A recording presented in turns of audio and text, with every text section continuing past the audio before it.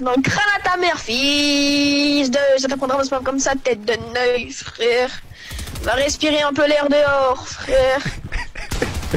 Sans the pas douché depuis trois mois, frère.